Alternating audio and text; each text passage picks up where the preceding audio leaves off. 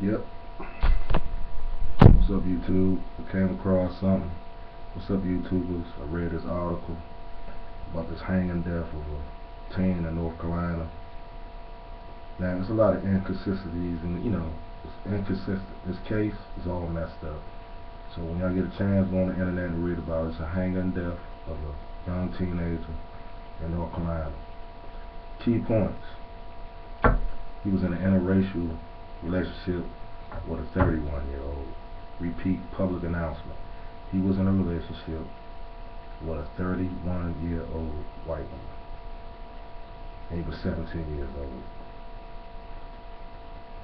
In North Carolina. What does that spell to you? What what that what does that spell? Jealousy. Young black male, promising football player, wanted to play football, messing with a 30, 31 year old white woman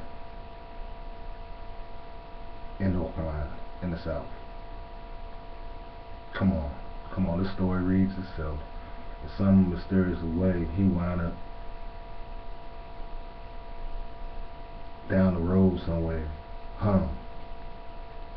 And people don't know how he got there or how he was suspended there, hung.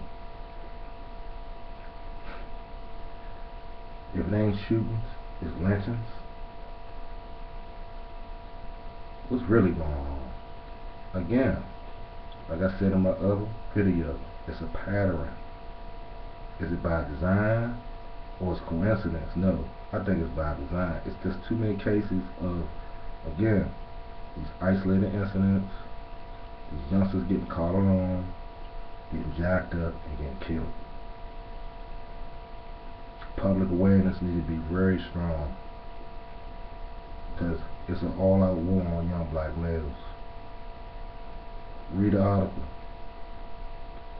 on the internet and it gave